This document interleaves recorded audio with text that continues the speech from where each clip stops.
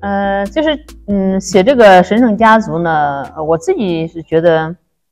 就是我想在一个真实的小镇上建构一个，嗯、一个虚幻的呃故事，但故事里面又包含着真实的脉络。So regarding the Sacred Clan, I want to create a fictional uh, story based on a real town that has a true, that has authentic and true texture in it. 嗯，就是为了写这个这个，我这里面有十二个人物，这但是翻译过来只有十个故事，十个人物。嗯，我为了写这这个小说集，我又回到我的家乡小镇，又待了半个月时间。嗯，如果你读这本书呢，你可以根据我所描述的第一篇和第二篇呢，你甚至可以画出一条街道里边的，呃，一个杂货店，然后一个邮局，然后这个一个卖羊的羊肉摊，就你可以非常清晰的去感受到这个这个小镇的这个这个每一每一个小的房屋、小的摊贩，嗯，就一个非常清晰的那种那种网络和和地理的这种感觉。So uh, to write this book, which has about 10, actually it, uh, has 12 chapters, but in, in, in the English version, there are only 10 chapters.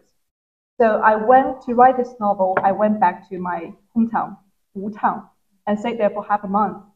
So if you read through the first and second chapter, you will get a chance to see um, how this town is like, about the houses, about the uh, shops like the grocery, and uh, the stands selling lamb and, and pork. So you can see the houses, and also it um, present the geographical features in this book. 我曾经在法国的这个呃美术馆看到这个卢梭，就法国一画家卢梭的一个画，他的画的风格就是非常的清晰，然后你你可以看到人物的皱纹，你可以看到那个那个那个树的每一个脉络，呃，非常强烈的清晰的现实的感觉。但是最终呢，它带给你是一种一种超现实的那种那种非真实的那种呃那种意味，就是一种现实的，因因为太过现实，所以它变成一种非现实的感觉。我想达到这样一个效果。 I went to uh, France to see and have seen a drawing from Rousseau. I Yeah, the yeah, yeah. French 这画家，嗯， Yeah, and he's from his drawing. Uh, his drawing vividly shows everything in detail, like the wrinkles on uh, the human faces, and also the textures of a tree. So I want to create the reality.